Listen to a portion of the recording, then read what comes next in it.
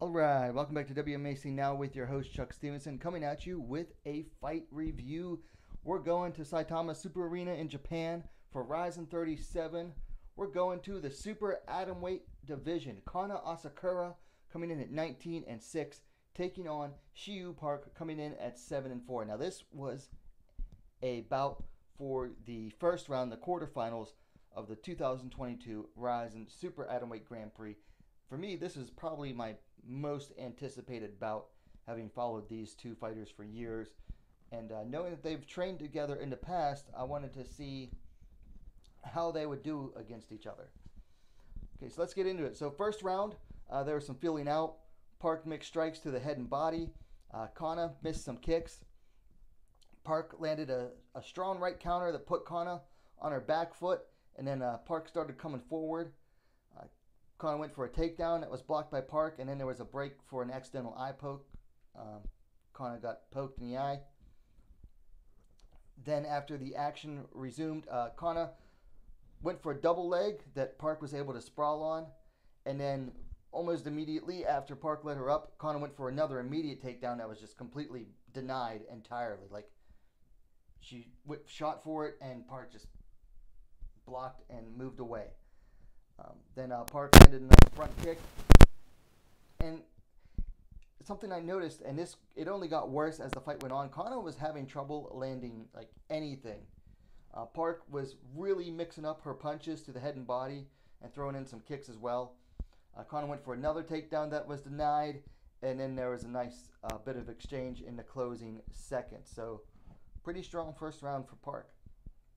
Uh, second round, Park came out more aggressive to start. Uh, she was coming forward more, and again, mixing up her strikes nice, attacking the body and the head.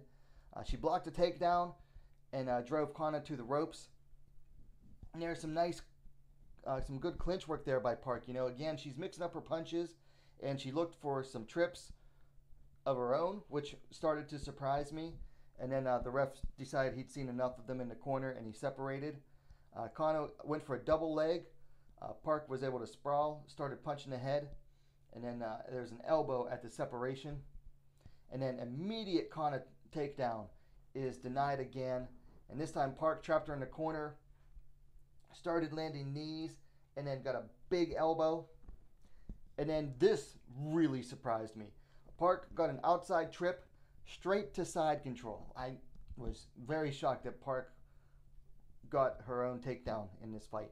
Um, now, Kanna was able to get back to her base on all fours, and uh, Park put on a front headlock to, to stand him back up, landed some knees to the head, and this was, they were in the corner, and Park had was to the side of, of Asakura at this point, and was basically kneeing her, like throwing occasional knees for basically the last 30 seconds of the round. Now, they weren't anything like super hard, but it was pretty consistent that she was landing those knees to Asakura's head. So, third round, this is looking like Park's fight to win, and Kanna was really going to need a finish here. Um, third round starts, Park lands a front kick, and uh, she slipped. Now, Kanna went for a takedown as soon as, as Park was able to get up, but Park was able to stuff it and forced Kanna to the corner. Park started dirty boxing there in the corner. Uh, had nice wrist control, was throwing some knees. And then Park again gets an outside trip takedown, uh, pass guard, and this was the biggest shocker of the fight to me. Park, as she passed guard, latched on an armbar. She was stretching it out. It looked tight, but Kanna was able to stack Park and escape out of it. As soon as Kanna got out, Park landed a nice up kick, created creating the distance, and uh, both were stood up. Kanna went for another takedown shot that got stuffed, and Park led her up in the corner and started unloading some punches. Uh, again, mixing to the head and the body. Uh, Kanna, she was stunned. You could tell she was like stunned. She was hurt. She went for a desperation takedown, but Park uh, sprawled, landed some punches to the head from the top, and then three straight knees to Kanna's head. And then uh, Park started unleashing, absolutely unleashing some punches in the corner again, but was but was smart with it. Like she picked her punches and made sure that they were going to land. Um,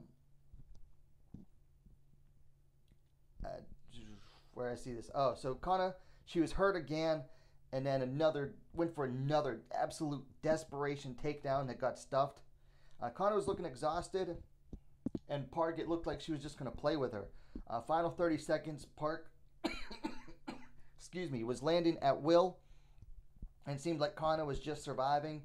Uh, another takedown got blocked. More knees from Park, and then right as the bell sounds, Park lands a right high kick that dropped Kanna as the referee stepped in, and uh, she wasn't.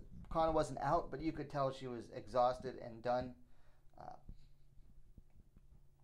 we'll talk about that kick at the bell at the end there, but it goes to the judges, and all three judges saw it unanimously. Uh, Si Woo Park. This and this is an absolute shutout by Si Woo Park. I mean, just absolute shutout of the former Grand Prix champion. Uh, Park used really good footwork, good head movement. She was mixing up her strikes. Her takedown defense was absolutely on point. This was the best Si Woo Park that I've seen, and I've watched every single one of her now 12 fights. And this is the absolute best she has ever looked against a serious opponent. I mean, Kanna, she just could not get out of first gear. Absolutely, like stuck in first gear, could not get going, could not get any momentum working for her. Uh, absolutely outmatched. And I gotta be honest, I think a part of this is that Kanna has kind of seemingly stopped evolving as a fighter. Like she started out good and a fairly complete fighter from the beginning, mostly a strong wrestler and grappler. And then her her striking improved, but now it seems like she's kind of like stopped evolving whereas Park has continued to evolve. And speaking of that, you know, Park if you were to uh, tell me 2 years ago um, pre-COVID that Park would end up beating Kanna Asakura.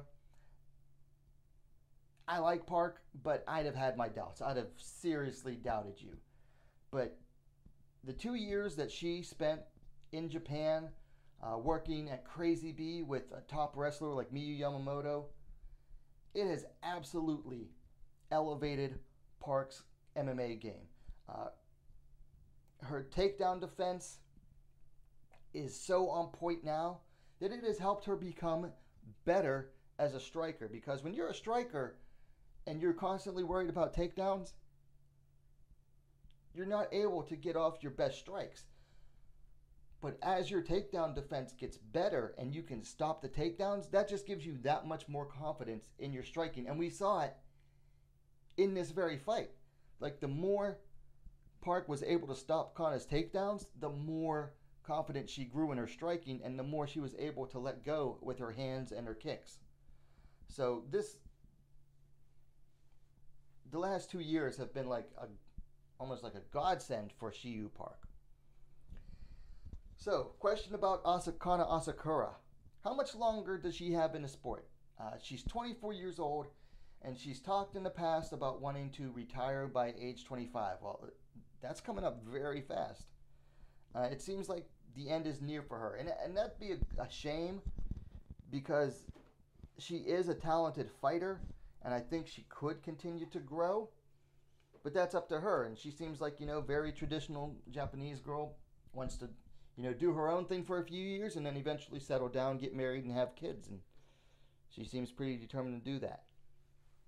But uh, back to Si Woo Park she is a serious threat to everyone in the atom weight division now. I mean, she already was, but after seeing seeing how she did in this fight, there was I don't think there's any atom weights that aren't going to be in serious trouble against her. She is a undeniable threat to everyone left in this super atom weight Grand Prix. Now, a quick little note here. Watching the replay the second and third time, it seems like the bell sounded, Park let go of the kick at the end, and then a bell sounded again, and that's when the referee intervened. I don't know, maybe the audio was off. Maybe she didn't hear the initial bell. Maybe she was already letting the momentum go. I don't know. I think it's a little bit unfortunate because I know there are already people calling her a dirty fighter, but I I don't think it was intentionally uh, illegal. Plus, the referee hadn't stopped stepped in yet. So that was just a small note on that. Anyway, let's talk things to work on. Uh, starting with Si Woo Park. I think she could have finished Asakura in the third. I seriously think she could have had she poured it on just a little bit more, given the referee a reason to stop it. Now, I can't get too mad because she was making sure that everything she threw was landing and was doing her best to make sure that what she threw landed. But I think had she just spazzed out a little bit, you know, just really started go like hurricaning the strikes, maybe she could have gotten the referee to stop it. Maybe it's because you know her and Kanna are, are pretty cool with each other. They're, they're almost like friends. They've trained together in the past. Maybe she didn't want to like seriously hurt Asakura too much. I hope not. I'd like to see her get a finish. Uh, for Kanna Asakura, oh my gosh, her takedowns. She there was zero setup to her takedowns. You gotta set up your takedowns. You gotta at least throw a couple a couple of punches. Even if the punches are gonna miss, they're gonna get your opponent uh, looking, focusing on nose, and then you shoot. But her takedowns, there was no setup, and also there was no variety. It was either double leg or single leg. She didn't go for any trips in the clinch. She barely went for the clinch at all herself. Just no variety and no setup. She's got to, she's got to, you know, vary up her takedowns, and she's got to set them up properly. All right, finally, fights to make sticking with Kanna Asakura. Um, I think Laura Fontoura would be a good one. You know, they're both coming off a, a, loss in the first round of the Grand Prix. Or if they want to give Asakura possibly a bit easier fight against someone who's also fought for Rizin as well, Moeri Suda. Now, Suda has a fight in Deep Jewels in September, but she could be ready again by November, December and that would be you know a good like tune-up fight for Asakura because Suda's getting better as well, and they're both grapplers. That'd be make for a fun fight to see who's the better grappler. And for Si Woo Park, well, she moves on to the second round of the Super Atomweight Grand Prix. She could face um, Seika Izawa for the second time. She could face Reina for the second time, or she could face Ayaka Hamasaki for the first time. I think it's they're going to lean towards Ayaka Hamasaki, but any one of those three fighters would make for a great fight, and she's a serious threat to all of them. So either way they go, I'll be happy with it. I'll definitely watch. Anyway, those are my thoughts on this. Rizin 37, Si Woo Park absolutely shuts out Kanna Asakura in a unanimous decision. Let me know your thoughts on the fight in the comments down below.